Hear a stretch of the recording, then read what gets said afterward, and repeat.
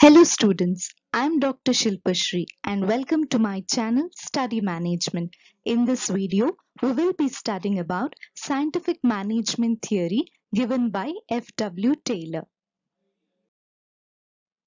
Frederick Winslow Taylor is regarded as the father of scientific management.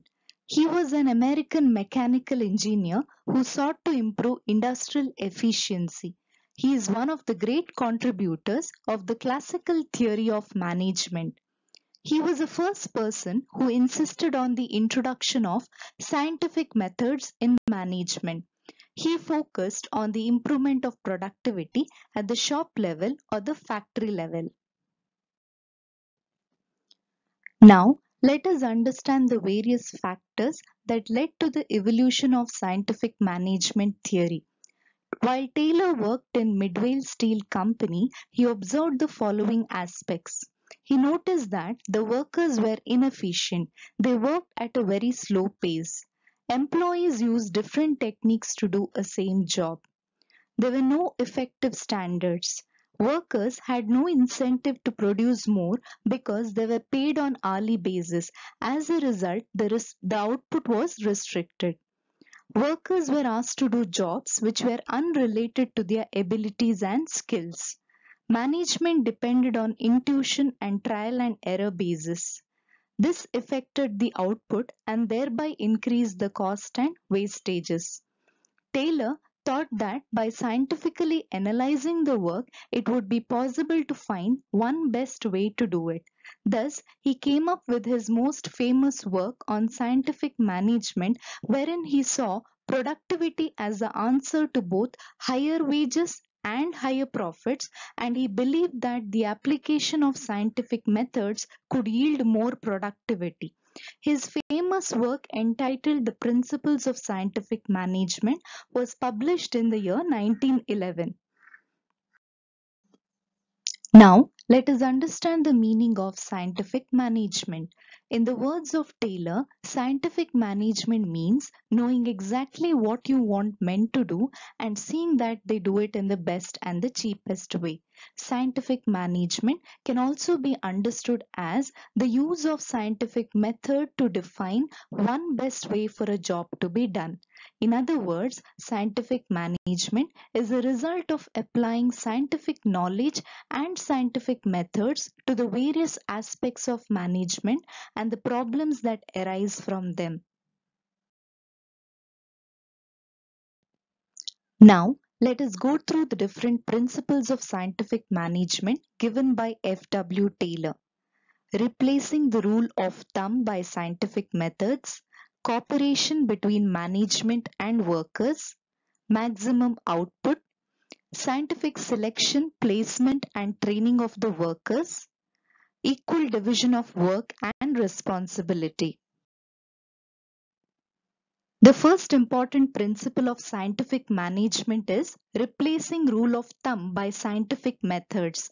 This principle suggests that work assigned to any employee should be first observed, analyzed with respect to each and every element, part and time involved in it. It means analyze the work scientifically rather than using the old thumb rule method identify what is to be done by a particular worker, how he is to do it, what equipment will be necessary to do it. This is very important so that the worker does not waste any resources, time and also the cost that is involved in executing the work.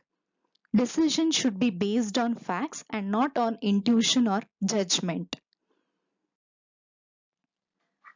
The second important principle is cooperation between management and workers. Taylor believed in cooperation and not individualism. For achieving the objectives of organization, there should be cooperation between the management and the workers. There should be no conflict or misunderstandings between the managers and the workers. Importance should be given to cooperative efforts and not individual effort. The third important principle is maximum output. The aim of scientific management is to see maximum prosperity for employer and employees. Instead of giving restricted output, workers should be asked to give maximum output. As output increases, the cost per unit will decrease and thereby the productivity will improve. Maximum output and optimum utilization of resources will bring higher profits for the employer and better wages for the workers. The next important principle is scientific selection, placement and training of workers. First, select the workers best suited to perform the specific task and then train them within the industry in order to attain the objectives of the enterprise.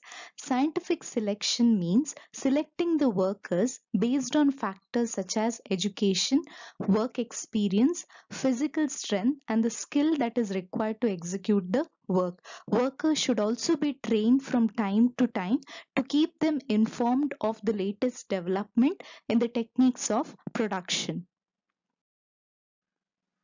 The next important principle is equal division of work and responsibility. Taylor emphasized on equal responsibility between the worker and the management. The management should assume the responsibility of planning the work whereas a worker should be concerned with execution of the task that is assigned to them. This results in elimination of conflict and mistrust between the worker and the management. Now, let us understand the different techniques of scientific management. These techniques are also sometimes known as tools or elements of scientific management. The first one is separation of planning from doing. Second, differential piece wage plan. Third, work study. Fourth, scientific selection and training of workers. Fifth, functional foremanship. Sixth, standardization. And the last one is mental revolution. The first important technique is separation of planning from doing. Taylor suggests that the planning function should be separated from doing function to secure the benefits of division of work and specialization. The work of planning should be the responsibility of management and the management should plan, organize and direct the work whereas the worker should implement the plans. Here in the first picture, as you can see, the management, that is the members of the topmost level are engaged in planning the duties that are required to be assigned to the lower level managers. And in the second picture, it gives you an overview of how the workers are assigned different tasks and they are executing the tasks given to them within the specified time period. The second important scientific management technique given by Taylor is differential piece wage plan. It is also known as financial incentive. Taylor suggested that the workers should be paid according to their efficiency. He suggested that the pay should be linked to the piece of work done by the worker.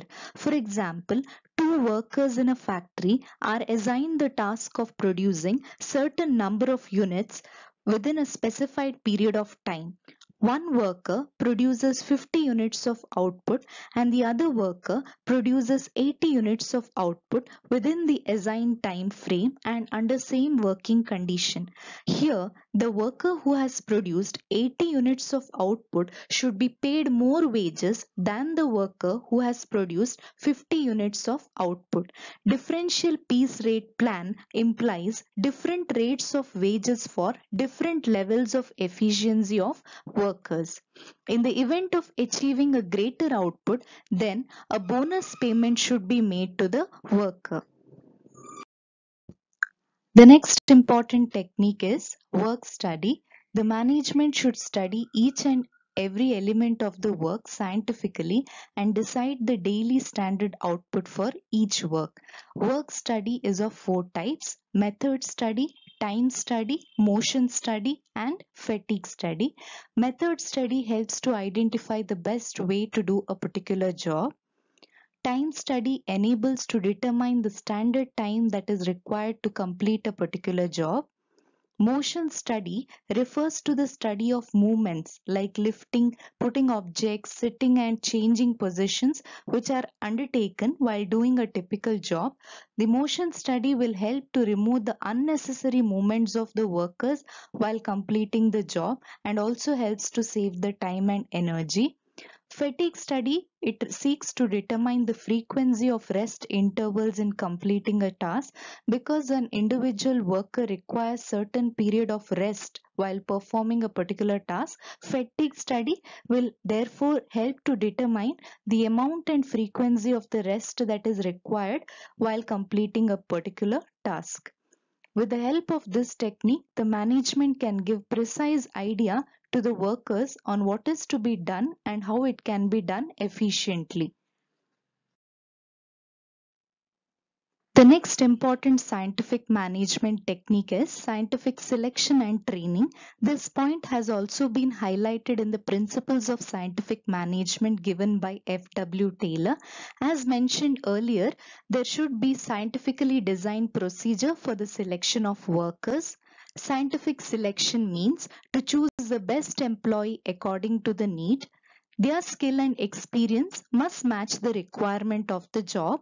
Further, they should be trained on a regular basis to do the task in the best manner and give maximum output at minimum cost. The fifth important scientific management technique is functional foremanship. Taylor criticized the system of one worker reporting to one boss only and hence he introduced functional foremanship to bring about specialization in the functions. In the functional foremanship, the worker receives orders from eight different specialized supervisors. In this picture, under the factory manager, there are two different categories that is planning in charge and production in charge. Under planning in charge, there are four different supervisors. Instruction card clerk is concerned with drafting the instructions for the workers regarding the different aspects of work. Route clerk specifies the route or the flow of production activity. Time and cost clerk prepares the time and cost sheet and disciplinarian he ensures discipline in the work environment. The second category that is a production in charge has four different supervisors Speed boss is responsible for timely and accurate completion of the job. Gang boss is responsible for keeping the machines and tools ready for production. Repair boss ensures proper working condition of machines and tools and the inspector checks the quality of the work. Each worker has to take orders from these eight foremen in the related process or function. Through this functional foreman system, Taylor wanted to create the narrowly specialized supervisor for each type of skilled work. The next important scientific management technique is standardization. Taylor advocated the importance of standardization. Standardization means the process of bringing uniformity. In other words, it means setting standards or benchmarks. Standardization helps in reducing time, labor and cost of production. Taylor suggested standardization for the following elements tools, equipments, raw materials, quality of work, physical working conditions, techniques of production. The last important scientific management technique is mental revolution. Mental revolution involves a change in the attitude of workers and management towards each other. While management has the obligation of creating a suitable working condition and solving all the problems of the workers scientifically, the workers have the responsibility of attending to their jobs with utmost attention, devotion and carefulness. They should not waste the resources of the enterprise. Management should give fair remuneration to the workers to boost up their morale. This will create a sense of belongingness among the workers and they will be more sincere in fulfilling the tasks assigned to them. As a result, there will be more production and will ensure maximum prosperity for both the employer as well as the employee. The scientific management theory of Taylor was criticized by many managers, workers, and also psychologists for the following reasons. Taylor treated workers just as a factor of production. He neglected the social and psychological needs of workers. Thus, he ignored the human element. Taylor concentrated on improving productivity at the shop floor and his philosophy is confined only to the workers at the shop level. He ignores the efficiency of the overall organization. Functional foremanship that Taylor suggested resulted into over specialization and it created confusion in the minds of the workers. Scientific management is anti-democratic. In other words, it is authoritarian in its approach. It does not seek participation of workers in decision making. Few of the criticisms that were highlighted in the scientific management theory given by F.W. Taylor were later remedied by other contributors to scientific management. Henry L. Gantt, he is popularly known for his work on task and bonus system and the famous Gantt chart. Frank Gilbreth and Lillian Gilbreth, a team of husband and wife, worked on motion study and the psychological factors affecting workers' productivity. Here, I have listed few of the books on management written by different authors for your further reading and understanding. I hope you have enjoyed watching my video. Thanks for watching. Please do like, share and subscribe to my channel.